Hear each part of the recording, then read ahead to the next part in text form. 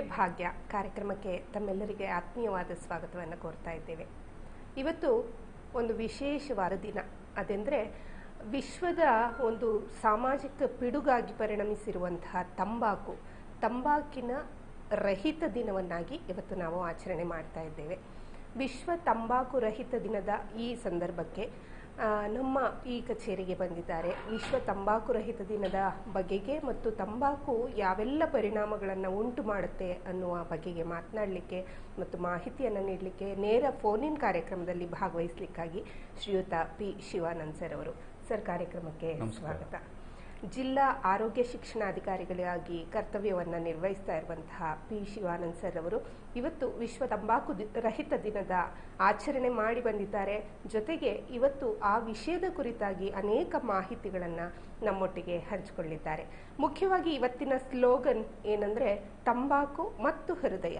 ಬಹುಶಃ ಜಗತ್ತಿನ ಅನೇಕ ಸರ್ವೆಗಳ ಪ್ರಕಾರ ಹತ್ತರಲ್ಲಿ ಒಬ್ಬ ಹೃದ್ರೋಗಿ ಸಾಯ್ತಾನೆ ಈ ತಂಬಾಕಿನ ಕಾರಣಕ್ಕಾಗಿ ಅನ್ನುವಂಥದ್ದನ್ನು ನಾವು ಕೇಳಿದ್ದೇವೆ. ಅದರ ಜೊತೆಗೆ ಧೂಮಪಾನ ಅಂದ ಕೂಡಲೇ ಧೂಮಪಾನ ಆರೋಗ್ಯಕ್ಕೆ ಹಾನಿಕರ ಅನ್ನುವಂಥ ಮಾತನ್ನು ಕೂಡ ನಾವು ಕೇಳಿದ್ದೇವೆ. ಸರ್ ಸ್ವಲ್ಪ ಡಿಸ್ಪ್ಲೇ ಬರ್ತದಲ್ಲ. ಇವತ್ತಿನ ಈ ಕಾರ್ಯಕ್ರಮಕ್ಕೆ ತಮ್ಮನ್ನು ತಮ್ಮನ್ನ ಆತ್ಮೀಯವಾಗಿ ಮತ್ತೊಮ್ಮೆ ಸ್ವಾಗತ ಮಾಡ್ತಾ ವಿಶ್ವ ತಂಬಾಕು ರಹಿತ ದಿನವಾದ ಇಂದು ಯಾವೆಲ್ಲ ಮಾತುಗಳನ್ನ ನಮ್ಮೊಟ್ಟಿಗೆ ಹಂಚಿಕೊಳ್ತಾ ಇದ್ದೀರಿ ಮತ್ತು ತಂಬಾಕು ಮುಖ್ಯವಾಗಿ ಹೇಗೆ ಒಂದು ಅನಾರೋಗ್ಯಕ್ಕೆ ಕಾರಣ ಆಗ್ತಾ ಇದೆ, ಸಾಮಾಜಿಕ ಅನಾರೋಗ್ಯ ಮತ್ತು ದೈಹಿಕ ಅನಾರೋಗ್ಯಕ್ಕೆ ಕೂಡ ಕಾರಣ ಆಗ್ತಾ ಇದೆ ಅನ್ನೋದನ್ನ ತಿಳಿಸ್ಕೊಡಿ ಸರ್.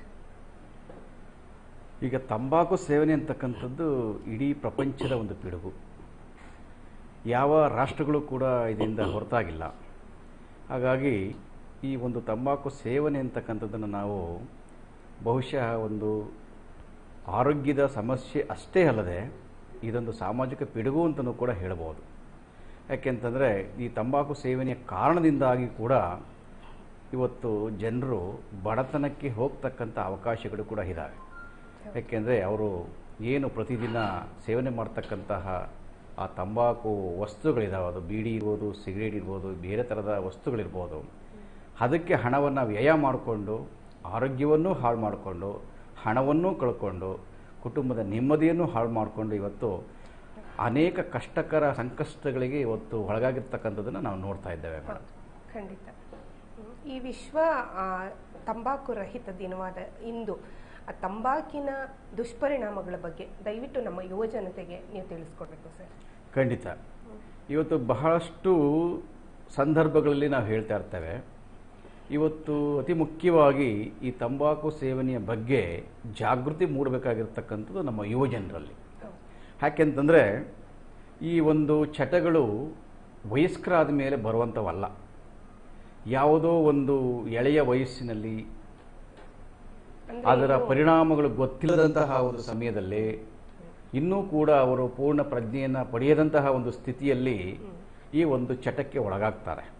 ಇದು ಮೊದಲು ಅವರಿಗೆ ಒಂದು ಕುತೂಹಲಕಾರಿ ವಿಷಯವಾಗಿ ಕಂಡ್ರೂ ಕೂಡ ಇದೊಂದು ಹವ್ಯಾಸವಾಗಿ ಅದು ಮುಂದುವರೆದು ಆ ಮಕ್ಕಳು ತಮ್ಮ ಜೀವನವನ್ನೇ ಕಳ್ಕೊಳ್ತಕ್ಕಂಥ ಒಂದು ದುಸ್ಥಿತಿಗೆ ಹೋಗ್ತಾರೆ. ಹಾಗಾಗಿ ಇವತ್ತು ನಾವು ಆ ಯುವಕರನ್ನ ಆ ಮಕ್ಕಳನ್ನ ಉದ್ದೇಶಿಸಿ ಅವರಿಗೆ ಜಾಗೃತಿಯನ್ನು ಮೂಡಬೇಸ್ ಮೂಡಿಸ್ಬೇಕಾಗಿರ್ತಕ್ಕಂಥ ತುಂಬ ಅವಶ್ಯ ಅಂತ ನನ್ನ ಭಾವನೆ ಆಗ್ತದೆ. ಖಂಡಿತ ಹೌದು ಸರ್. ಅದೇ ಕಾರಣಕ್ಕೆ ಬಹುಶಃ ಇವತ್ತು ಬೆಳಗ್ಗೆ ನೀವು ಒಂದು ಕಾಲೇಜ್ನಲ್ಲಿ ಈ world tobacco no tobacco day ಏನಿದೆ, ಅದನ್ನು ಆಚರಣೆ ಕೂಡ ಮಾಡಿದ್ದೀರಿ. ಹೇಗೆ ಸರ್ ಇದೆಲ್ಲ ಹೇಗೆ ಶುರು ಆಗ್ತಾ ಇದೆ? ಅಂದರೆ ಅಡಲಸೆನ್ಸ್ ಪೀರಿಯಡಲ್ಲಿ ಈ ಒಂದು ಧೂಮಪಾನದ ಬಗೆಗಾಗಿರಬಹುದು, ಮತ್ತು ಈ ಮಾದಕ ಪದಾರ್ಥಗಳ ಬಗೆಗಾಗಿರ್ಬೋದು ಒಂದು ಕುತೂಹಲ ಯುವ ಜನರಿಗೆ. ಆದರೆ ಅದನ್ನ ಅರಿಯದ ವಯಸ್ಸಿನಲ್ಲಿ ಶುರು ಮಾಡಿ ಆ ನಂತರ ಅದರಿಂದ ಬಿಡಿಸ್ಕೊಳ್ಳುವಂತಹ ಪರಿಸ್ಥಿತಿಯಲ್ಲಿ ಅವರಿರೋದಿಲ್ಲ ಹಾಗಾಗಿ ಹೇಗೆ ಅದನ್ನು ನಿಯಂತ್ರಣ ಮಾಡೋದು ಅನ್ನೋದನ್ನು ದಯವಿಟ್ಟು ತಿಳಿಸ್ಕೊಡಿ. ಈಗ ಒಂದು ಗಾದೆ ಇದೆ. ಚಟ ಚಟ್ಟ ಹತ್ತುವರೆಗೂ ಹೋಗೋದಿಲ್ಲ ಅಂತ ಹೇಳಿ. ನಾವು ಈ ಒಂದು ಹವ್ಯಾಸಗಳನ್ನು ಚಟ ಆಗಲಿಕ್ಕೆ ಬಿಡಲೇಬಾರದು. ಚಟ ಯಾವಾಗ ಆಗ್ತದೆ ಅಂತಂದರೆ ನಾವು ಕುತೂಹಲಕ್ಕೋ ಅಥವಾ ಬೇಗ ಪ್ರಯೋಗಶೀಲತೆಗೋ ಅಥವಾ ಗೆಳೆಯರ ಒತ್ತಾಯದ ಪ್ರಭಾವಕ್ಕೋ ಒಳಗಾಗಿ. ಸೊ ಇನ್ಯಾವುದೋ ಕಾರಣಗಳಿಂದ ಅದನ್ನು ನಾವು ಅಭ್ಯಾಸ ಮಾಡ್ಕೊಳ್ತೇವೆ. ಅಭ್ಯಾಸ ಮಾಡಿಕೊಂಡಿದ್ದೇನಾಗುತ್ತೆ ಕ್ರಮೇಣವಾಗಿ ಅದು ಚಟವಾಗಿ ಬೆಳೆದು ಬಿಡುತ್ತೆ ಹಾಗಾಗಿ ಈ ಚಟ ಹತ್ತಿಸ್ಕೊಂಡ ಮೇಲೆ ಅದನ್ನು ನಾವು ಬಿಡಿಸೋದು ತುಂಬ ಕಷ್ಟ ಆಗ್ತದೆ. ಸಾಧ್ಯ? ಆದರೆ ಕಷ್ಟ ಸಾಧ್ಯ. ಹಾಗಾಗಿ ಇವತ್ತು ನಾವು ಯುವ ಜನರನ್ನು ಅಥವಾ ಮಕ್ಕಳನ್ನ ಈ ತಂಬಾಕು ಸೇವನೆಯಿಂದನೇ ದೂರ ಇಡಬೇಕಾಗಿದ್ದು ಬಹಳ ಮುಖ್ಯ. ಅಂದರೆ ಅವರು ಆ ತಂಬಾಕು ಸೇವನೆ ಚಟಕ್ಕೆ ಹೋಗಬಾರ್ದು ಆ ಅಭ್ಯಾಸವನ್ನೇ ಮಾಡಬಾರ್ದು. ಆ ನಿಟ್ಟಿನಲ್ಲಿ ಇವತ್ತು ಎಲ್ಲ ರೀತಿಯಲ್ಲೂ ಕೂಡ ಏನು ಪೋಷಕರು ಅಥವಾ ಶಿಕ್ಷಕರು ಅಥವಾ ಸಮಾಜದ ಮುಖಂಡರುಗಳು ಅಥವಾ ಎಲ್ಲ ಧಾರ್ಮಿಕ ಮುಖಂಡರುಗಳು ಆ ಬಗ್ಗೆ ಜನರಲ್ಲಿ ಅಥವಾ ಮಕ್ಕಳಲ್ಲಿ ಪ್ರಜ್ಞೆಯನ್ನು ಮೂಡಿಸ್ತಕ್ಕಂಥ ಒಂದು ಪ್ರಯತ್ನವನ್ನು ನಾವು ಮಾಡಬೇಕಾಗಿದೆ. ಸೊ ಆ ಕಾರಣವಾಗಿ ಇವತ್ತು ನಾವು ನಮ್ಮ ಸಂಜೆಯ ವೃತ್ತದಿಂದ ಇಲ್ಲಿ ನಾವು ಕರ್ನಾಟಕ ಬಾರ್ ವೃತ್ತದವರೆಗೆ ಅಲ್ಲಿಂದ ಕನ್ನಿಕಾ ಪರಮೇಶ್ವರಿ ದೇವಸ್ಥಾನದವರೆಗೂ ಕೂಡ ಒಂದು ರೋಸ್ ಕ್ಯಾಂಪೇನನ್ನು ಇವತ್ತು ಮಾಡಿದ್ವಿ ಬೆಳಿಗ್ಗೆ. ಸೊ ಯಾರು ಸಿಗರೇಟನ್ನು ಸೇದ್ತಾ ಇರ್ತಾರೆ ಅಥವಾ ಬೀಡಿಯನ್ನು ಸೇದ್ತಾ ಇರ್ತಾರೆ ಅವರಿಗೆ ಒಂದು ಗುಲಾಬಿ ಹೂವನ್ನು ಕೊಟ್ಟು ಆ ಗುಲಾಬಿ ಹೂವು ಕೊಟ್ಟು ಅವರಿಗೆ ಒಂದು ಈ ಒಂದು ಸಿಗರೇಟಿನ ಸೇವನೆಯಿಂದ ಏನು ನಿಮಗೆ ತೊಂದರೆ ಆಗ್ತದೆ? ದಯವಿಟ್ಟು ಇದನ್ನು ಬಿಟ್ಟು ಬಿಡಿ ಅಂತಕ್ಕಂಥ ಒಂದು ಮನವೊಲಿಸುವಂತಹ ಒಂದು ಕಾರ್ಯಕ್ರಮವನ್ನು ಇವತ್ತು ನಾವು ನಮ್ಮ ಜಿಲ್ಲಾ ಆರೋಗ್ಯ ಮತ್ತು ಕುಟುಂಬ ಕಲ್ಯಾಣ ಅಧಿಕಾರಿಗಳ ಕಚೇರಿಯಿಂದ ಹಮ್ಮಿಕೊಂಡ್ವಿ ಮೇಡಮ್ ಜೊತೆಗೆ ಇವತ್ತು ನಾವು ಮಾಂಡವ್ಯ ಎಕ್ಸಲೆನ್ಸ್ ಪಿ ಯು ಕಾಲೇಜಿನ ಅಲ್ಲಿರ್ತಕ್ಕಂಥ ಬಿ ಎಡ್ ಸ್ಟೂಡೆಂಟ್ಸ್ಗೂ ಕೂಡ ಯಾಕೆಂದರೆ ಈ ಬಿ ಸ್ಟೂಡೆಂಟ್ಸ್ಗಳು ಇವತ್ತು ಮುಂದಿನ ಶಿಕ್ಷಕರಾಗ್ತಾರೆ. ಖಂಡಿತ. ಸೊ ಅವರ ಮೂಲಕವಾಗಿ ನಾವು ಈ ಒಂದು ಮಾಹಿತಿಯನ್ನು ಕೋಟ್ಯಾಂತರ ಮಕ್ಕಳಿಗೆ ತಲುಪಿಸ್ಬೋದು. ಆ ಕಾರಣಕ್ಕಾಗಿ ಇವತ್ತು ಆ ಮಾಂಡವ್ಯ ಬಿ ಎಡ್ ಕಾಲೇಜಲ್ಲೂ ಕೂಡ ಒಂದು ಕಾರ್ಯಕ್ರಮವನ್ನು ಆಯೋಜನೆ ಮಾಡಿ ಅಲ್ಲಿಯೂ ಶಿಕ್ಷಕರಿಗೆ ಭಾವಿ ಶಿಕ್ಷಕರಿಗೆ ನಾವು ಇವತ್ತೊಂದು ಮಾಹಿತಿಯನ್ನು ಕೊಡುವಂಥ ಪ್ರಯತ್ನವನ್ನು ಮಾಡಿದ್ದೇವೆ. ಹಾಗಾಗಿ ಇವತ್ತು ನಾವು ನಮ್ಮ ಯುವಕರನ್ನ ಎಷ್ಟು ಮಟ್ಟಿಗೆ ನಾವು ಎಚ್ಚರಿಸಬೇಕು ಅನ್ನುವಂಥದ್ದು ಬಹಳ ಅವಶ್ಯಕತೆ ಇದೆ ಅಂತಕ್ಕಂಥ ನನ್ನ ಭಾವನೆ. ಖಂಡಿತ. ಈಗಾಗಲೇ ಸರ್ಕಾರದ ವತಿಯಿಂದ ತಂಬಾಕು ನಿಷೇಧ ಕಾಯ್ದೆ ಕೂಡ ಬಂದಿದೆ. ಆದರೆ ಸಾರ್ವಜನಿಕ ಸ್ಥಳಗಳಲ್ಲಂತೂ ಅದನ್ನು ನಿಷೇಧ ಮಾಡಬೇಕು ಮತ್ತು ದಂಡ ವಿಧಿಸಬೇಕು ಅನ್ನುವಂತಹ ಎಲ್ಲ ಮಾತುಗಳನ್ನ ಕೇಳಿದ್ದೇವೆ. ಎಷ್ಟು ಮಟ್ಟಿಗೆ ಸಾಧ್ಯ ಆಗಿದೆ ಸರ್ ಅದು? ಅದು ಏನಾಗಿದೆ ಇವತ್ತು? ಯಾವುದೇ ಒಂದು ಸಮಸ್ಯೆಗೆ ಪರಿಹಾರವನ್ನು ನಾವು ಕೇವಲ ಕಾನೂನಿನ ಮೂಲಕ ಮಾಡೋದಕ್ಕೆ ಸಾಧ್ಯ ಆಗೋದಿಲ್ಲ. ಅದು ಪರಿಣಾಮಕಾರಿಯೂ ಕೂಡ ಅಲ್ಲ. ಜೊತೆಗೆ ಅದು ಸೂಕ್ತವೂ ಅಲ್ಲ. ಆದರೆ ನಮ್ಮ ಎಲ್ಲ ಪ್ರಯತ್ನಗಳಿಗೆ ಪೂರಕವಾಗಿ ಇದೊಂದು ಕಾನೂನಿನ ಬಲ ಬೇಕು. ಹಾಗಾಗಿ ಎರಡು ಸಾವಿರದ ಮೂರರಲ್ಲಿ ಕೋಟ್ಪ ಕಾಯ್ದೆನ ಜಾರಿಗೆ ತಂದಿದೆ ಸರ್ಕಾರ. ಅಂದರೆ great and other tobacco product act ಅಂತೇಳಿ ಅಂತ ತಂದಿದ್ದಾರೆ. ಆ ಪ್ರಕಾರದಲ್ಲಿ ಆ ಒಂದು ಕಾಯ್ದೆಯ ಅಡಿನಲ್ಲಿ ಸೆಕ್ಷನ್ ನಾಲ್ಕರ ಪ್ರಕಾರ ಸಾರ್ವಜನಿಕ ಪ್ರದೇಶಗಳಲ್ಲಿ ಧೂಮಪಾನವನ್ನು ಮಾಡ್ತಕ್ಕಂಥದ್ದು ನಿಷಿದ್ಧ. ಯಾರಾದರೂ ಧೂಮಪಾನವನ್ನು ಮಾಡಿದರೆ ಇನ್ನೂರು ರೂಪಾಯಿಗಳವರೆಗೆ ಅವರಿಗೆ ದಂಡವನ್ನು ಹಾಕಬಹುದು ಅಂತಕ್ಕಂಥ ಒಂದು ಕಾನೂನು ಮಾಡಿದ್ದಾರೆ. ಸೊ ಈ ಅಡಿನಲ್ಲಿ ನಾವು ನಮ್ಮ ಜಿಲ್ಲಾ ಮಟ್ಟದಿಂದ ಮತ್ತು ತಾಲೂಕು ಮಟ್ಟದಿಂದ ಒಂದು ಸ್ಕ್ವಾಡ್ಗಳನ್ನು ಮಾಡಿಕೊಂಡು ಅಂದರೆ ಒಂದು ಪರಿಶೀಲನಾ ತಂಡವನ್ನು ಮಾಡಿಕೊಂಡು ಸೊ ಅಲ್ಲಿ ಪೊಲೀಸರ ಸಹಕಾರವನ್ನು ತಕ್ಕೊಂಡು ನಾವು ಎಲ್ಲಿ ಈ ಥರದ ತಂಬಾಕು ಮಾರಾಟ ಮಾಡ್ತಾ ಇದ್ದಾರೆ, ಅಂತಹ ಕಡೆ ನಾವು ಹೋಗಿ ಅಲ್ಲಿ ಏನಾದರೂ ಆ ಥರದ ಕಾನೂನಿಗೆ ವಿರುದ್ಧವಾದಂತಹ ವಿಚಾರಗಳು ಕಂಡು ಬಂದರೆ ತಕ್ಷಣವೇ ಅಲ್ಲಿ ನಾವು ಅವರಿಗೆ ದಂಡವನ್ನು ಹಾಕಿ, ಸೊ ಅವರಿಗೆ ಅರಿವನ್ನು ಮೂಡಿಸ್ತಕ್ಕಂಥದ್ದನ್ನು ನಾವು ಮಾಡ್ತಾ ಇದ್ದೇವೆ. ಇಲ್ಲಿ ದಂಡವನ್ನು ಹಾಕ್ತಕ್ಕಂಥದ್ದು ಎರಡನೇ ವಿಚಾರ, ಆದರೆ ಅವರಿಗೆ ಅರಿವನ್ನು ಮೂಡಿಸ್ತಕ್ಕಂಥದ್ದು ಮನವೊಲಿಸ್ತಕ್ಕಂಥದ್ದು ನಮ್ಮ ಮೊದಲ ಆದ್ಯತೆ ಆಗಿದೆ ಮೇಡಮ್. ಹೌದು ಹೌದು, ಖಂಡಿತ. ಯಾಕಂದರೆ ದಂಡ ವಿಧಿಸುವ ಮೂಲಕ ಅವರಲ್ಲಿ ಒಂದು ಅರಿವನ್ನು ಮೂಡಿಸಬೇಕು ಅನ್ನುವಂಥದ್ದು ಉದ್ದೇಶ ಕೂಡ ಹೌದು. ಜೊತೆಗೆ ಈ ನಿಯಂತ್ರಣ ಕಾಯ್ದೆ ಬಂದ ನಂತರ ಏನನ್ಸುತ್ತೆ ಸರ್? ಇಳಿಕೆ ಆಗಿದೆಯಾ ತಂಬಾಕು ಸೇವನೆಯಲ್ಲಿ? ಅಥವಾ ಇನ್ನೂ ಹೆಚ್ಚಾಗ್ತಾ ಇದೆಯಾ? ಇವತ್ತಿನ ಟ್ರೆಂಡ್ ಹೇಗಿದೆ ಸರ್? ಖಂಡಿತ ಖಂಡಿತ. ಯಾಕೆಂತಂದ್ರೆ ನೋಡಿ ಈಗ ನಾವು ಹಲವಾರು ಉಪಕ್ರಮಗಳನ್ನು ಮಾಡ್ತಾ ಇದ್ದೇವೆ. ಏನು ಉಪಕ್ರಮಗಳು ಅಂದರೆ ಸಾರ್ವಜನಿಕ ಪ್ರದೇಶದಲ್ಲಿ ಧೂಮಪಾನ ಮಾಡ್ತಕ್ಕಂಥದ್ದು ನಿಷಿದ್ಧ ಅದಕ್ಕೆ ದಂಡವನ್ನು ವಿಧಿಸ್ತಕ್ಕಂಥದ್ದು. ಅದ್ರ ಜೊತೆಗೇನೆ ಏನು ಹದಿನೆಂಟು ವರ್ಷದ ಒಳಪಟ್ಟಂತಹ ವ್ಯಕ್ತಿಗೆ ತಂಬಾಕನ್ನು ಮಾರಾಟ ಮಾಡೋದು ಕೂಡ ನಿಷಿದ್ಧ. ಅದೇ ರೀತಿಯಲ್ಲಿ ಹದಿನೆಂಟು ವರ್ಷದ ಒಳಗಡೆ ಇರತಕ್ಕಂಥ ವ್ಯಕ್ತಿಯಿಂದ ಮಾರಾ ತಂಬಾಕನ್ನು ಮಾರಾಟ ಮಾಡೋದು ಕೂಡ ನಿಷಿದ್ಧ. ಯಾಕೆಂತಂದರೆ ಸಾಮಾನ್ಯವಾಗಿ ಆ ವಯಸ್ಸಿನಲ್ಲಿ ಕುತೂಹಲ ಇರ್ತದೆ ಹದಿನೆಂಟು ವರ್ಷದ ಒಳಗಿನ ಮಕ್ಕಳಿಗೆ. ಅವರಿಗೆ ನಾವು ಈ ಥರ ಈ ರೀತಿಯ ಒಂದು ಎಕ್ಸ್ಪೋಸರ್ ಆಗಿಬಿಟ್ರೆ ಹೌದು. ಅವರಿಗೂ ಕೂಡ ಒಂದು ಚಟಕ್ಕೆ ಒಳಗಾಗಬಹುದಾದಂಥ ಸಂಭವಗಳು ಜಾಸ್ತಿ ಇರೋ ಕಾರಣಕ್ಕಾಗಿ ಅದನ್ನು ಕೂಡ ನಾವು ಈ ಒಂದು ಕೋಟ್ಪ ಕಾಯ್ದೆಯಲ್ಲಿ ಬಂದಿದೆ.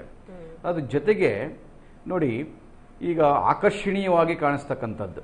ಈಗ ಏನಂತಂದ್ರೆ ಸಿಗರೇಟ್ ಪ್ಯಾಕ್ಗಳನ್ನು ಅಂಗಡಿಗಳಲ್ಲಿ ಆಕರ್ಷಣೀಯವಾಗಿ ಕಣ್ಣಿಗೆ ಕಾಣುವ ರೀತಿಯಲ್ಲಿ ಎದ್ದು ಕಾಣುವ ರೀತಿಯಲ್ಲಿ ಜೋಡಿಸಿರ್ತಕ್ಕಂಥದ್ದು ಅಥವಾ ಆ ಅಂಗಡಿಯ ಮುಂದೆ ಏನು ಸಿಗರೇಟನ್ನು ಸೇದಲಿಕ್ಕೆ ಅನುಕೂಲ ಆಗಲಿ ಅಂತೇಳಿ ಮ್ಯಾಚ್ ಬ್ಯಾಗ್ಸ್ಗಳನ್ನು ಇಡ್ತಕ್ಕಂಥದ್ದು. ಅಥವಾ ಈ ದೀಪಗಳನ್ನು ಹೊತ್ತಿಸಿಡ್ತಕ್ಕಂಥದ್ದು ಅಥವಾ ಈ ಒಂದು ದಾರಕ್ಕೆ ಬೆಂಕಿಯನ್ನು ಹೊತ್ತಿಸಿಡ್ತಕ್ಕಂಥದ್ದು ಇದೆಲ್ಲವೂ ಕಂಡು ಬಂದರೆ ಅದೆಲ್ಲವೂ ಕೂಡ ಕಾನೂನಿನ ಪ್ರಕಾರ ನಿಷಿದ್ಧವೇ. ಅಂಥ ಸಂದರ್ಭದಲ್ಲಿಯೂ ಕೂಡ ನಾವು ಅವರಿಗೆ ದಂಡವನ್ನು ವಿಧಿಸ್ತಕ್ಕಂಥದ್ದು ಎಚ್ಚರಿಕೆಯನ್ನು ಕೊಡ್ತಕ್ಕಂಥದ್ದು ಮಾಡ್ತಾ ಇದ್ದೇವೆ. ಮತ್ತು ಜಾಹೀರಾತು ಫಲಕಗಳನ್ನು ತೆಗೆಸ್ತಕ್ಕಂಥ ಕೆಲಸ ಕೆಲಸವನ್ನು ಕೂಡ ನಾವು ಮಾಡ್ತಾ ಇದ್ದೇವೆ. ಸೊ ಹಾಗಾಗಿ ಇವತ್ತು ಇವತ್ತು ಏನು ಸಿಗರೇಟ್ ಪ್ಯಾಕಿನ ಮೇಲೆ ಆ ಪಟ್ಟಣದ ಮೇಲೂ ಕೂಡ ಎಚ್ಚರಿಕೆ ಸಂದೇಶವನ್ನು ಮುದ್ರಿಸುವುದು ಕೂಡ ಒಂದು ಉಪಕ್ರಮ ಆಗಿದೆ. ಆ ಕಾರಣದಿಂದನೂ ಕೂಡ ಇವತ್ತು ನಮಗೆ ಏನಾಗ್ತಾ ಇದೆ ಈ ಎಲ್ಲ ಒಂದು ಉಪಕ್ರಮಗಳು ಜೊತೆಗೆ ಅರಿವಿನ ಕಾರ್ಯಕ್ರಮಗಳ ಮೂಲಕವಾಗಿ ಇವತ್ತು ನಾವು ಜನರನ್ನು ಮುಟ್ಟುತ್ತಾ ಇರೋದ್ರಿಂದ ಸೊ ಖಂಡಿತವಾಗಿಯೂ ಕೂಡ ಇದರಲ್ಲಿ ಇಳಿಮುಖವನ್ನು ನಾವು ಕಾಣ್ತಾ ಇದ್ದೇವೆ. ಅಂದರೆ ಈಗ ಏನು ಒಂದು ಗ್ಲೋಬಲ್ ಯೂತ್ ಟೊಬ್ಯಾಕೋ ಸರ್ವೆ ಪ್ರಕಾರ ಈಗ ಸರಾಸರಿ ತಂಬಾಕನ್ನು ಪ್ರಾರಂಭ ಮಾಡತಕ್ಕಂಥ ವಯಸ್ಸು ಹದಿನಾರು ಪಾಯಿಂಟ್ ಒಂಬತ್ತರಿಂದ ಹದಿನೇಳು ಪಾಯಿಂಟ್ ಒಂಬತ್ತು ಅಂದರೆ ಹದಿನೇಳು ವರ್ಷ ಒಂಬತ್ತು ತಿಂಗಳಿಗೆ ಒಂದು ವರ್ಷ ಎಕ್ಸ್ಟೆಂಡ್ ಆಗಿದೆ. ಅಂದರೆ ಕಾರಣ ಈ ಒಂದು ನಮ್ಮ ಜಾಗೃತಿ ಕಾರ್ಯಕ್ರಮಗಳು ಮತ್ತು ಈ ಥರದ ಕಾನೂನಿನ ಕ್ರಮಗಳ ಕಾರಣದಿಂದಾಗಿ ಇವತ್ತು ಇಳಿಮುಖ ಕಂಡು ಬರ್ತಾ ಇದೆ. ಆದರೂ ಕೂಡ ಇನ್ನೂ ಹೆಚ್ಚಿನ ಸಾಧನೆಯನ್ನು ನಾವು ಇದರಲ್ಲಿ ಮಾಡಬೇಕಾಗಿದೆ, ಮಾಡಲೇಬೇಕಾಗಿದೆ. ಆ ಕಾರಣಕ್ಕೆ ಡಬ್ಲ್ಯೂ ಎಚ್ ಒ ಈ ಒಂದು ವಿಶ್ವ ತಂಬಾಕು ರಹಿತ ದಿನವನ್ನು ಬಹುಶಃ ಸಾವಿರದ ಒಂಬೈನೂರ ಎಂಬತ್ತೇಳರಲ್ಲಿ ಇದು ಶುರುವಾಗಿರಬಹುದು ಅಂತ ಕಾಣ್ತದೆ. ಹಾಗಾಗಿ ಒಂದು ತಂಬಾಕು ರಹಿತ ದಿನವನ್ನು ಆಚರಣೆ ಮಾಡೋದು ಮಾತ್ರ ಅಲ್ಲ ಅದನ್ನ ಆ- ಮೂಲಕ ಒಂದು ಜನರಿಗೆ ಅರಿವನ್ನು ಮೂಡಿಸುವಂತ ಕೆಲಸ ಆಗಬೇಕಾಗಿದೆ. ಆ ಒಂದು ಕೆಲಸವನ್ನ ನೀವೆಲ್ಲರೂ ಸೇರಿ ಮಾಡ್ತಾ ಇದ್ದೀರಿ ಅನ್ನೋದು ಸತ್ಯ ಸರ್. ಆದ್ರೆ ಈ ತಂಬಾಕಿನಲ್ಲಿ ಇರುವಂತಹ ವಿಧಗಳು ಯಾವ್ದ್ಯಾವುದು ಮತ್ತೆ ಅದನ್ನ ಹೇಗೆ ಜನ ಸ್ವೀಕರಿಸ್ತಾ ಇದ್ದಾರೆ ಅನ್ನೋದನ್ನ ತಿಳಿಸ್ಕೊಡಿ ಸರ್ ವಿಶದವಾಗಿ. ಈಗ ತಂಬಾಕಿನ ವಿಧಗಳು ಅಂತಂದಾಗ ಬಹಳ ಪ್ರಮುಖವಾಗಿ ಕಂಡುಬರ್ತಕ್ಕಂಥದ್ದು ಸಿಗರೇಟು ಬೀಳಿ ಖೈನಿ, ಜಾರ್ದ, ಗುಟ್ಕಾ ಈ ಥರದ ತಂಬಾಕನ್ನು ಒಳಗೊಂಡಂತಹ ಪದಾರ್ಥಗಳು. ಅಂದರೆ ಈಗ ಸಾಮಾನ್ಯವಾಗಿ ಒಂದೊಂದು ಪ್ರದೇಶದಲ್ಲಿ ಒಂದೊಂದರ ಬಳಕೆ ಜಾಸ್ತಿ ಇರ್ತದೆ. ಈಗ ನಮ್ಮ ಹಾಗೆ ಉತ್ತರ ಕರ್ನಾಟಕದ ಭಾಗಕ್ಕೆ ಹೋದರೆ ಅಲ್ಲಿ ಹುಕ್ಕ, ಖೈನಿ, ಜರ್ದ ಈ ಒಂದು ತಂಬಾಕು ವಸ್ತುಗಳನ್ನು ಬಳಕೆ ಮಾಡ್ತಕ್ಕಂಥದ್ದು ಜಾಸ್ತಿ. ಸೊ ಹಾಗಾಗಿ ಕೆಲವು ಕಡೆ ಈ ಒಂದು ಸಿಗರೇಟು ಮತ್ತು ಬೀಡಿಗಳನ್ನು ಬಳಕೆ ಮಾಡ್ತಕ್ಕಂಥದ್ದು ಜಾಸ್ತಿ ಇದೆ. ಹಾಗಾಗಿ ಇವೆಲ್ಲವೂ ಕೂಡ ತಂಬಾಕಿನ ವಿವಿಧ ಮೂಲಗಳೇ. ಅದು ಅಗಿಯುವ ತಂಬಾಕು ಮತ್ತು ಸ್ಮೋಕಿಂಗ್ ಟೊಬ್ಯಾಕೋ ಮತ್ತು ಚೀವಬಲ್ ಟೊಬ್ಯಾಕೋ ಅಂತ ಹೇಳ್ತೀವಿ ನಾವು. ಸೊ ಹಾಗಾಗಿ ಎರಡೂ ರೂಪದಲ್ಲಿ ಇರತಕ್ಕಂಥ ಟೊಬ್ಯಾಕೋ ಅಂದರೆ ಈಗ ತಂಬಾಕನ್ನು ಬಳಸೋದ್ರಿಂದ ಖಂಡಿತ ಆರೋಗ್ಯದ ಮೇಲೆ ಕೆಟ್ಟ ಪರಿಣಾಮ ಆಗ್ತದೆ. ಓಕೆ. ಈ ಬಗ್ಗೆ ಒಂದು ಸಣ್ಣ ದೃಶ್ಯಾವಳಿ ಇದೆ ಅದನ್ನ ನೋಡ್ಕೊಂಡು ಬರೋಣ ಸರ್. ಖಂಡಿತ. ಆ ಆ ಒಂದು ಮಾಹಿತಿ ದೃಶ್ಯಾವಳಿಯ ಮೂಲಕ ನಿಮಗೆ ಸಿಗ್ತಾ ಇದೆ.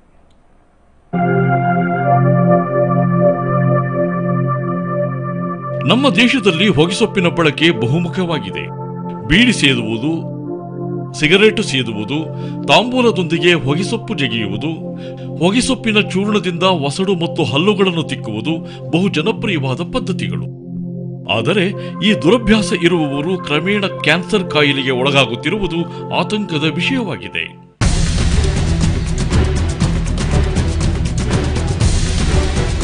ಭಾರತ ದೇಶದಲ್ಲಿ ಕ್ಯಾನ್ಸರ್ ರೋಗದಿಂದ ನರಳುವ ಪುರುಷರಲ್ಲಿ ಪ್ರತಿಶತ ನಲವತ್ತು ಮಂದಿ ಹೊಗೆಸೊಪ್ಪನ್ನು ಒಂದಿಲ್ಲೊಂದು ರೀತಿಯಲ್ಲಿ ಬಳಸುವವರೇ ಆಗಿದ್ದಾರೆ.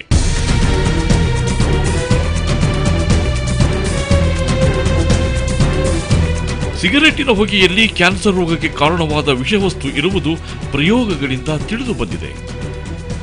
ಧೂಮಪಾನ ಮಾಡುವ ವ್ಯಕ್ತಿ ಕ್ಯಾನ್ಸರ್ ಅಲ್ಲದೆ ಹಲವಾರು ರೋಗಗಳಿಗೆ ತುತ್ತಾಗುವ ಸಾಧ್ಯತೆ ಇದೆ ಎಂಬುದನ್ನು ತಜ್ಞರು ಒತ್ತಿ ಹೇಳಿದ್ದಾರೆ. ಕ್ಯಾನ್ಸರ್ ಕ್ಯಾನ್ಸರ್ ಅಂದರೆ ಏನು? ಕ್ಯಾನ್ಸರ್ ನೂರಾರು ರೋಗಗಳ ಒಂದು ಆಗರ. ಅಸಹಜ ಮತ್ತು ನಿಯಂತ್ರಣವಿಲ್ಲದ ಬೆಳವಣಿಗೆ. ಆರೋಗ್ಯಕರ ದೇಹದಲ್ಲಿ ಜೀವಕೋಶಗಳು ಬೆಳೆಯುತ್ತವೆ ಮತ್ತು ನಶಿಸುತ್ತವೆ. ಅದೇ ಸಮಯದಲ್ಲಿ ಹೊಸ ಜೀವಕೋಶಗಳು ಬೆಳೆಯುತ್ತವೆ. ಈ ಕ್ರಿಯೆ ಒಂದು ನಿಯಂತ್ರಣದಲ್ಲಿ ನಡೆಯುತ್ತಿರುತ್ತದೆ. ಕೆಲವೊಂದು ಕಾರಣಗಳಿಂದಾಗಿ ನಮ್ಮ ದೇಹದಲ್ಲಿ ಆನುವಂಶಿಕ ಮೂಲ ವಸ್ತುಗಳು ಹಾನಿಗೊಳಗಾಗುತ್ತವೆ. ಅಥವಾ ಬದಲಾವಣೆಗೆ ಒಳಗಾಗುತ್ತವೆ. ಕೆಲವು ಸಾರಿ ನಮ್ಮ ದೇಹದಲ್ಲಿ ನಶಿಸಬೇಕಿದ್ದ ಕೆಲವು ಜೀವಕೋಶಗಳು ನಶಿಸದೆ ಬಹು ಘಟಕಗಳಲ್ಲಿ ಬೆಳೆಯುತ್ತಾ ಕ್ಯಾನ್ಸರ್ ಗ್ರಂಥಿಗಳಾಗಿ ರೂಪು ತಳೆಯುತ್ತವೆ. ಈ ಕ್ಯಾನ್ಸರ್ ಸಹಿತ ಜೀವಕೋಶಗಳು ಕ್ರಮೇಣ ಬೆಳೆದು ದೇಹದ ಇತರ ಭಾಗಗಳು ಹಾಗೂ ಮೆದುಳಿಗೆ ಸಾಗಿ ಹೋಗಿ ಸಾವಿಗೆ ಕಾರಣವಾಗುತ್ತವೆ.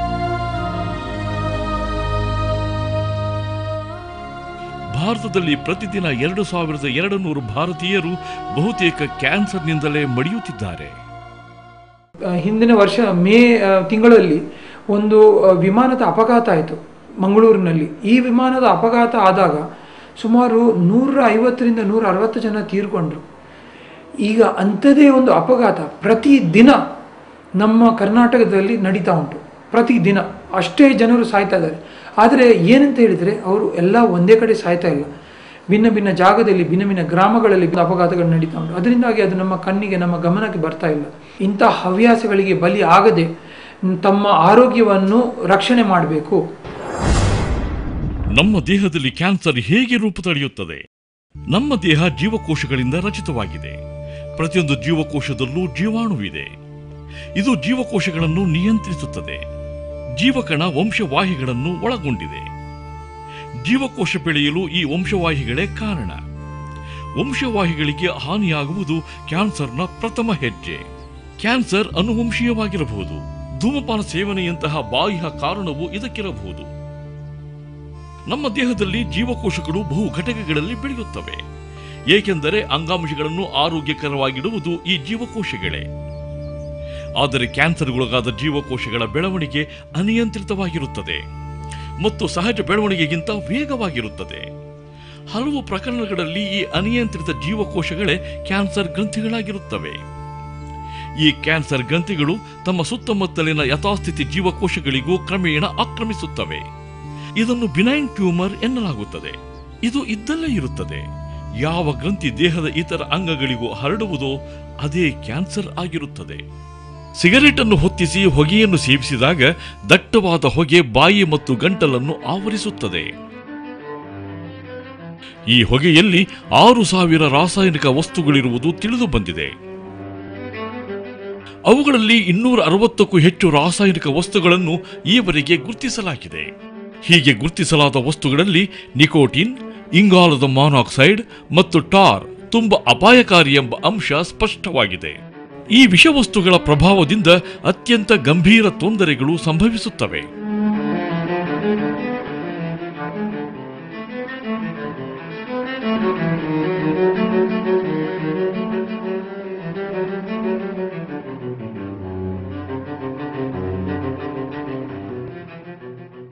ನಾವು ಈ ತಂಬಾಕುವನ್ನು ತಯಾರು ಮಾಡುವಾಗ ಒಂದು ಸಿಗರೇಟು ಅಥವಾ ಬೀಡಿ ಇರಲಿ ಅಥವಾ ಗುಟ್ಕಾ ಅಥವಾ ಕೈನಿ ಅಂತ ಇರಲಿ, ಅದರಲ್ಲಿ ಸುಮಾರು ಆರು ಸಾವಿರದಿಂದ ಏಳು ಸಾವಿರ ಕೆಮಿಕಲ್ಗಳು ಉಂಟು.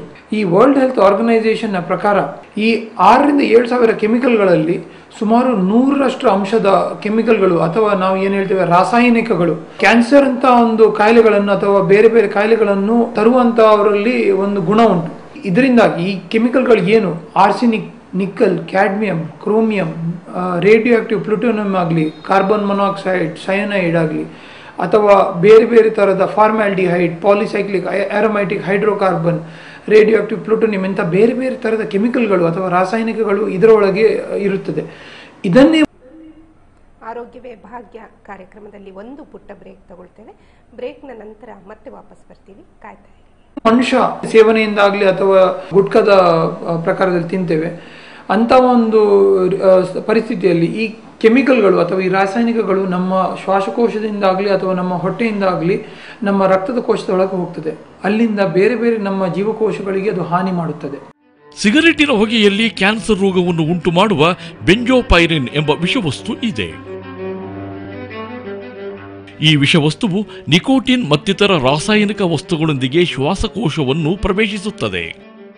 ಟಾರ್ನ ಅತಿ ಸೂಕ್ಷ್ಮ ಕಣಗಳು ಸಿಗರೇಟಿನ ಹೊಗೆಯಲ್ಲಿ ತುಂಬಿಕೊಂಡಿದ್ದು, ಧೂಮಪಾನ ಮಾಡುವ ಚಟ ಅಧಿಕವಾಗುತ್ತಿದ್ದಂತೆ ಶ್ವಾಸಕೋಶ ತೀವ್ರ ಹಾನಿಗೆ ಒಳಗಾಗುತ್ತದೆ.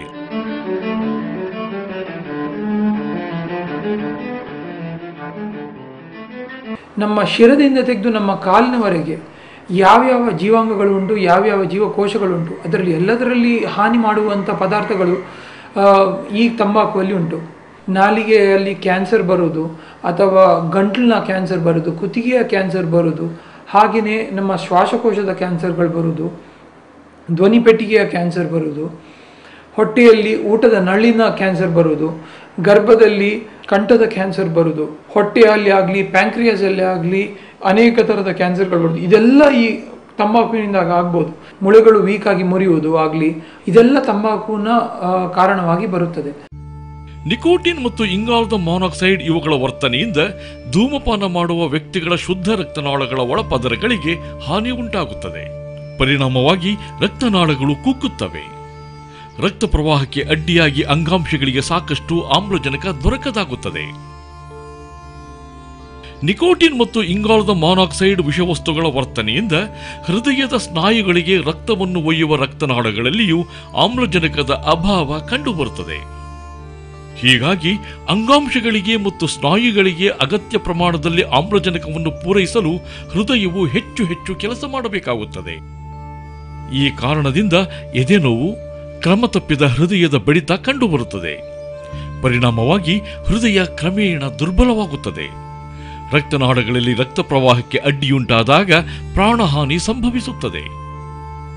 ಅವಶ್ಯಕತೆಗಿಂತ ಹೆಚ್ಚು ಆಮ್ಲ ಬಿಡುಗಡೆಯಾಗುವುದರಿಂದ ಆಮ್ಲದ ಕ್ರಿಯೆಗೆ ಒಳಪಟ್ಟು ಜಠರದ ಒಳಮೈ ಹುಣ್ಣಾಗುತ್ತದೆ.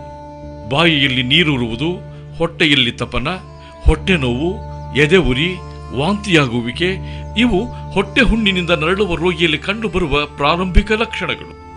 ಈ ರೋಗ ಲಕ್ಷಣಗಳು ಮುಂದುವರಿದಲ್ಲಿ ಸೂಕ್ತ ವೈದ್ಯಕೀಯ ಪರೀಕ್ಷೆ ಮಾಡಿಸಿಕೊಂಡು ಚಿಕಿತ್ಸೆ ಪಡೆಯುವುದು ಅಗತ್ಯ. ಆಮೇಲೆ ಸೊಪ್ಪು ತರಕಾರಿ ಚೆನ್ನಾಗಿ ತಿನ್ಬೇಕು ಬೀಡಿ ಸಿಗರೇಟ್ ಸೇದಬಾರ್ದು ಎಣ್ಣೆ ಗಿಡ್ಡೆ ಕುಡಿಯೋದೆಲ್ಲ ಮಾಡಬಾರ್ದು.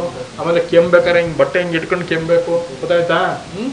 ಅಲ್ಲದೆ ಬೀಡಿ ಸಿಗರೇಟು ಸೇದುವುದನ್ನು ಹೊಗೆಸೊಪ್ಪು ಸಹಿತವಾಗಿ ಎಲೆ ಅಡಿಕೆ ಜಗಿಯುವುದನ್ನು ಸಂಪೂರ್ಣವಾಗಿ ಕೈಬಿಡಬೇಕು. ಬಿಡಬೇಕು ನಲವತ್ತೊಂದು ಒಂದು ನಾನು ಈ ಬಿಡಿ ಕುಡ್ಕೊಂಡೇ ಬಂದೆ. ಅದಕ್ಕೋಸ್ಕರ ನನಗೆ ಗಂಟಲಲ್ಲಿ ಊಟ ಮಾಡೋಕ್ಕೆ ತೊಂದರೆ ಆಯಿತು. ಆ ತೊಂದರೆ ಆದಾಗ ನಾನು ಡಾಕ್ಟರ್ ಹತ್ರ ಹೋದೆ. ಏನೋ ನೋಡಿ ಸರ್, ಊಟ ಮಾಡೋಕ್ಕಾಗಲ್ಲ ಅಂತ. ಆಗ ನೋಡಿದ್ರು ಇದು ಏನು ಅಂತ ಅವರು ಚೆಕ್ ಮಾಡಿ, ಕ್ಯಾನ್ಸರ್ ಅಂತ ಹೇಳಿದ್ರು.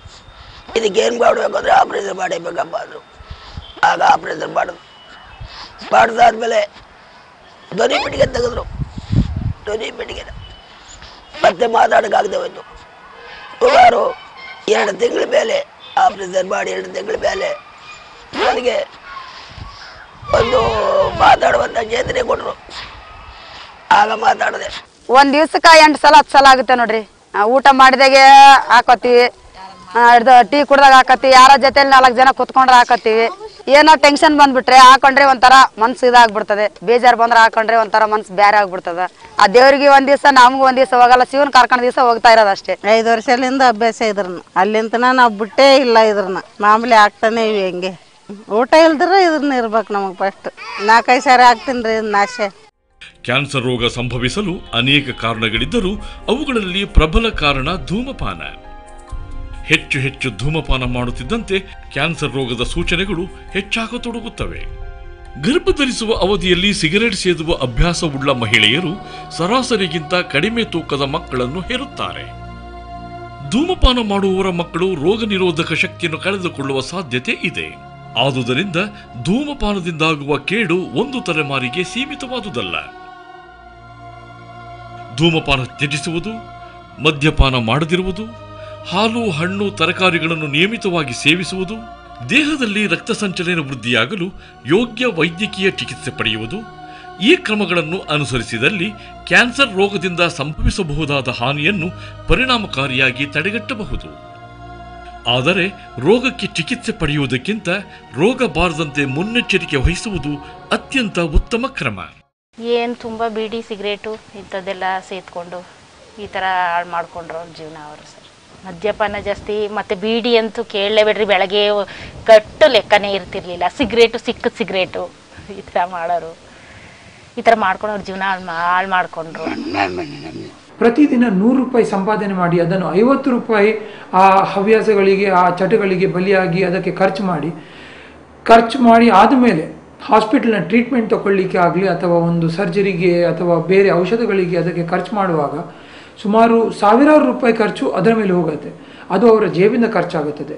ಹೌದು, ಕರ್ನಾಟಕದ ಎಲ್ಲಾ ವೈದ್ಯರು ಒಟ್ಟುಗೂಡಿದರೂ ಮಾಡಲಾಗದಂತಹ ಕೆಲಸ ನಿಮ್ಮಿಂದ ಮಾತ್ರ ಸಾಧ್ಯ. ಅದು ನೀವು ತತ್ಕ್ಷಣದಿಂದ ತಂಬಾಕು ಸೇವಿಸುವುದನ್ನು ನಿಲ್ಲಿಸುವುದು. ತಂಬಾಕು ಸೇವನೆ ನಿಲ್ಲಿಸಿ, ನಿಮ್ಮ ಆರೋಗ್ಯ ರಕ್ಷಿಸಿ. ಆರೋಗ್ಯವೇ ಆರೋಗ್ಯವೇ ಭಾಗ್ಯ ಕಾರ್ಯಕ್ರಮದಲ್ಲಿ ಮತ್ತೊಮ್ಮೆ ಸ್ವಾಗತ ವೀಕ್ಷಕರೇ. ಬಹುಶಃ ಈ ದೃಶ್ಯಾವಳಿಯನ್ನ ನೋಡ್ತಿದ್ರಿ ನೀವು. ಸರ್ ಈ ದೃಶ್ಯಾವಳಿಯನ್ನು ನೋಡಿದವರು ಯಾರು ಮತ್ತೆ ತಂಬಾಕನ್ನು ಮುಟ್ಟೋದಿಲ್ಲ ಅಂತ ನಾನು ಅನ್ಕೊಳ್ತೀನಿ ಸರ್.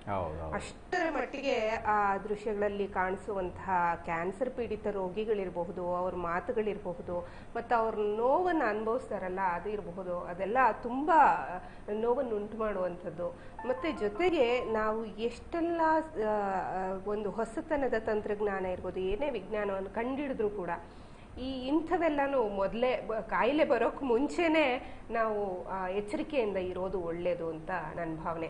ಹೇಗಿದೆ ಸರ್ ಭಾರತದಲ್ಲಿ ವಿಶ್ವದಲ್ಲಿ ಹೇಗಿದೆ ಸ್ಟ್ಯಾಟಿಸ್ಟಿಕ್ಸು ಈಗ ಈ ಯಾವ ಮಟ್ಟದಲ್ಲಿ ಈ ತಂಬಾಕಿನಿಂದ ಮತ್ತು ಧೂಮಪಾನದಿಂದ ಸಾಯ್ತಾ ಇರೋರ ಸಂಖ್ಯೆ ಹೇಗಿದೆ? ಅದನ್ನು ದಯವಿಟ್ಟು ತಿಳಿಸ್ಕೊಡಿ ಸರ್. ಮೇಡಮ್ ಜಗತ್ತಿನಲ್ಲಿ ಇವತ್ತು ಪ್ರತಿ ಆರೂವರೆ ಸೆಕೆಂಡಿಗೆ ಒಬ್ಬ ವ್ಯಕ್ತಿ ಸಾಯ್ತಾ ಇದ್ದಾನೆ.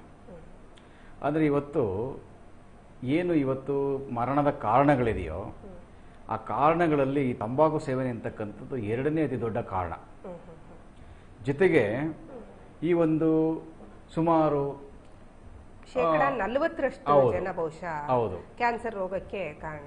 ಕಾರಣ ಆಗ್ತಾ ಇದೆ ಅದರಲ್ಲೂ ಕೂಡ ಈ ಮರಣದ ಕಾರಣಗಳನ್ನು ತಗೊಂಡಾಗ ಎಂಟು ಕಾರಣಗಳಲ್ಲಿ ಆರು ಕಾರಣಗಳು ತಂಬಾಕು ಸೇವನೆಗೆ ಸಂಬಂಧಪಟ್ಟಂತವು ಆಗಿರ್ತವೆ. ಸೊ ಹಾಗಾಗಿ ಇವತ್ತು ಇಡೀ ಜಗತ್ತಿನಲ್ಲಿ ಕೂಡ ಇದೊಂದು ದೊಡ್ಡ ಪಿಡುಗು ಅಂತ. ನಾವು ಹೇಳ್ಬೋದು. ಅದೇ ರೀತಿಯಲ್ಲಿ ನಮ್ಮ ಭಾರತ ದೇಶದಲ್ಲಿ ಪ್ರತಿ ನಿತ್ಯ ಇಪ್ಪತ್ತೆರಡು ಸಾವಿರ ಜನ ಈ ತಂಬಾಕು ಸೇವನೆಯ ಸಂಬಂಧಿತ ಕಾಯಿಲೆಗಳಿಂದ ಸಾಯ್ತಾ ಇದ್ದಾರೆ. ಹತ್ತು ಲಕ್ಷ ಜನ ಒಂದು ವರ್ಷಕ್ಕೆ. ಒಂದು ವರ್ಷಕ್ಕೆ ಸುಮಾರು ಹತ್ತು ಲಕ್ಷ ಜನ ಸಾಯ್ತಾ ಇದ್ದಾರೆ. ಈ ಒಂದು ಮರಣಗಳ ಸಂಖ್ಯೆಯನ್ನು ನಾವು ಲೆಕ್ಕ ಹಾಕಿದ್ರೆ ಇವತ್ತೇನು ಕ್ಷಯರೋಗ ಮಲೇರಿಯಾ ಮತ್ತು ಎಚ್ ಐ ವಿ ಇಂದ ಸಾಯ್ತಾರೆ ಆ ಸಂಖ್ಯೆಗಿಂತನೂ ಜಾಸ್ತಿ ಇದು. ಹೌದು. ಆದ್ರೆ ಇದು ಸದ್ದಿಲ್ಲದೆ ಮರಣವಂತ ಆಗ್ತಕ್ಕಂಥ ವಿಚಾರ ಇದು. ನಿಧಾನವಾಗಿ ಕೊಲ್ಲುವ ವಿಷಯ ಹೌದು. ಖಂಡಿತ. ಯಾಕೆಂತಂದ್ರೆ ಕೆಲವರು ವಾದ ಮಾಡ್ತಾರೆ. ಈಗ ನಾನು ಐದು ವರ್ಷದಿಂದ ಸೇರ್ತಾ ಇದ್ದೀನಿ ಹತ್ತು ವರ್ಷದಿಂದ ಸೇರ್ತಾ ಇದ್ದೀನಿ ನನಗೇನು ತೊಂದರೆನೇ ಆಗಿಲ್ಲ ಅಂತ. ಆದರೆ ಇದು ಅವರು ತಿಳ್ಕೊಂಡ ಹಾಗೆಲ್ಲ ಇದು ಬಹಳ ನಿಧಾನವಾಗಿ ಇದು ಆರೋಗ್ಯವನ್ನ ಬಾಧಿಸುವಂತಹ ಒಂದು ಕಾಯಿಲೆ ಬರ್ತದೆ ಇದರಲ್ಲಿ. ಅದರಲ್ಲೂ ದುರಂತ ಅಂದ್ರೆ ಸರ್ ಈ- ಒಂದು ಶೇಕಡಾವಾರು ಸಾವನ್ನ ಲೆಕ್ಕ ಹಾಕಿದಾಗ. ಮೂವತ್ತೊಂಬತ್ತು ವಯಸ್ಸಿನಿಂದ ಎಪ್ಪತ್ತು ವರ್ಷದ ಒಳಗಿನವರು ಸಾಯೋ ಸಂಖ್ಯೆ ಜಾಸ್ತಿ ಜಾಸ್ತಿ ಇದೆ ಯಾಕೆಂತಂದ್ರೆ ಈಗ ಅವರಿಗೆಲ್ಲ ಏನು ಈ ಒಂದು ತಂಬಾಕಿನ ಹವ್ಯಾಸ ಚಿಕ್ಕ ವಯಸ್ಸಿನಲ್ಲೇ ಪ್ರಾರಂಭ ಆಗಿರ್ತದೆ. ಅವರು ಆ ವಯಸ್ಸು ತಲುಪುವಷ್ಟೊತ್ತಿಗೆ ಅವರಿಗೆ ಕಾಯಿಲೆಗಳು ಉಲ್ಬಣ ಆಗಿರ್ತವೆ. ಹಾಗಾಗಿ ಆ ವಯಸ್ಸಿನಲ್ಲಿ ಈ ತಂಬಾಕು ಸೇವನೆಯ ಕಾರಣದಿಂದಾಗಿ ಸಾಯ್ತಕ್ಕಂಥ ಸಂಖ್ಯೆ ಸಹಜವಾಗಿ ಜಾಸ್ತಿ ಆಗ್ತದೆ. ಅದರಲ್ಲೂ ವಿಶ್ವದಲ್ಲಿ ನಾವು ಕೆಲವು ಸಂಖ್ಯಾವಾರು ಆ, ಮಾಹಿತಿಗಳನ್ನ ಕಲೆ ಹಾಕಿದಾಗ ವಿಶ್ವದಲ್ಲಿ ಬಹುಶಃ ಶೇಕಡ ತೊಂಬತ್ತರಷ್ಟು ಬಾಯಿ ಕ್ಯಾನ್ಸರ್ಗಳು ತಂಬಾಕಿನ ಕಾರಣಕ್ಕಾಗಿ ಆಗಿರ್ತವೆ ಇದು ತುಂಬಾ ದುರಂತ ಅಂತ ಅನ್ನಿಸ್ತದೆ ಖಂಡಿತ. ಯಾಕಂದ್ರೆ ತಿನ್ನುವಾಗ ರುಚಿಕಟ್ಟಾಗಿರುತ್ತೆ ಅವರಿಗೆ ಅಥವಾ ಯಾವುದೋ ಒಂದು ಮಾದಕವಾದ ಒಂದು ವಾಸನೆಯನ್ನ ಅಥವಾ ಒಂದು ಹಿತವನ್ನು ಕೊಡಬಹುದು. ಆದ್ರೆ ಆರೋಗ್ಯದ ಮೇಲೆ ಎಷ್ಟು ದುಷ್ಪರಿಣಾಮವನ್ನು ಬೀರ್ತಾ ಇದೆ ಅನ್ನುವಂಥದ್ದನ್ನ ಜನ ತಿಳ್ಕೊಳ್ಬೇಕಾಗಿದೆ. ಅದರ ಅರಿವನ್ನ ಮೂಡಿಸ್ಬೇಕಾಗಿರೋದು ನಿಮ್ಮ ಅದರಲ್ಲೂ ನಿಮ್ಮ ಆರೋಗ್ಯ ಶಿಕ್ಷಣಾಧಿಕಾರಿಗಳಾಗಿ ನಿಮ್ಮ ಕರ್ತವ್ಯ ಬಹಳಷ್ಟು ದೊಡ್ಡದಿದೆ ಸರ್ ಇದು. ಹೇಗೆ ಹಮ್ಮಿಕೊಳ್ತಾ ಇದ್ದೀರಿ ಸರ್ ಕಾರ್ಯಕ್ರಮ ಈ ಒಂದು ವಿಚಾರವಾಗಿ? ಬಹಳಷ್ಟು ನಾವು ಅರಿವು ಕಾರ್ಯಕ್ರಮಗಳನ್ನು ಯುವಕ ಕೇಂದ್ರಿತವಾಗಿ ಮಾಡ್ತಾ ಇದ್ದೇವೆ. ಏನು ಶಾಲಾ ಕಾಲೇಜುಗಳಿದ್ದಾವೆ ಅಲ್ಲಿ ನಾವು ವಿವಿಧ ಸಂಘ ಸಂಸ್ಥೆಗಳನ್ನು ಒಳಗೊಂಡಂತೆ. ಯಾಕೆಂದರೆ ಇದಕ್ಕೆ ದುಡಿತಕ್ಕಂಥ ಕೆಲವು ಸಂಘಟನೆಗಳಿದ್ದಾವೆ ಆ ಸಂಘ ಸಂಘಟನೆಗಳ ಜೊತೆಯಲ್ಲಿ ನಾವು ಒಂದು ಕೋಆರ್ಡಿನೇಷನ್ ಮಾಡಿಕೊಂಡು ಹಲವಾರು ಅರಿವು ಕಾರ್ಯಕ್ರಮಗಳನ್ನು ಶಾಲಾ ಕಾಲೇಜುಗಳಲ್ಲಿ ಮಾಡ್ತಾ ಇದ್ದೇವೆ. ಜೊತೆಗೆ ನಾವು ಏನು ಹಳ್ಳಿಗಳಲ್ಲಿ ಈ ಗ್ರಾಮಾಂತರ ಪ್ರದೇಶಗಳಲ್ಲಿಯೂ ಕೂಡ ಈ ಒಂದು ಗುಂಪು ಸಭೆಗಳು ಅಥವಾ ವೈಯಕ್ತಿಕ ಭೇಟಿಗಳ ಸಂದರ್ಭದಲ್ಲಿಯೂ ಕೂಡ.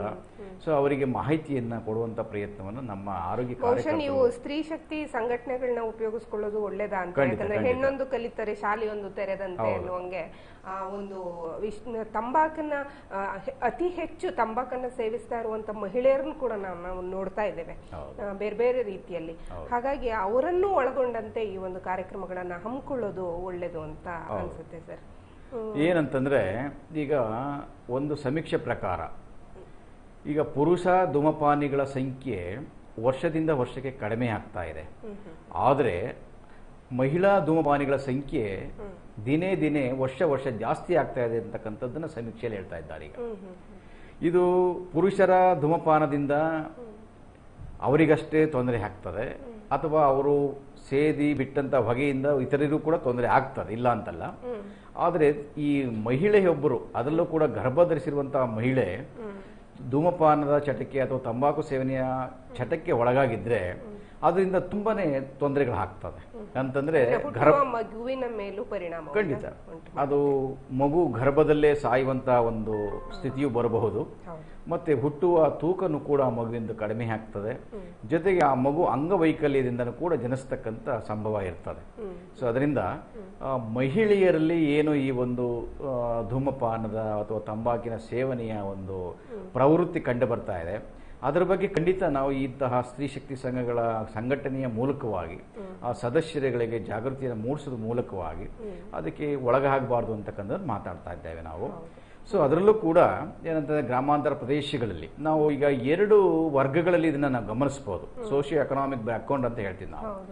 ತೀರಾ ಪೂರ್ ಅಂದ್ರೆ ಕಡು ಬಡತನದ ಅಲ್ಲಿ ಇರ್ತಕ್ಕಂಥ ಕುಟುಂಬಗಳಲ್ಲಿ ಇರ್ತಕ್ಕಂಥ ಮಹಿಳೆಯರು ಸಾಮಾನ್ಯವಾಗಿ ಇಂಥ ಚಟಕ್ಕೆ ಒಳಗಾಗ್ತಕ್ಕಂಥದ್ದು ಜಾಸ್ತಿ. ಸೊ ಅವರದೇ ಕಾರಣಗಳಿರ್ತಾವೆ ಅವರದೇ ಒಂದು ಸಾಮಾಜಿಕ ಪರಿಸ್ಥಿತಿ ಇರ್ತದೆ.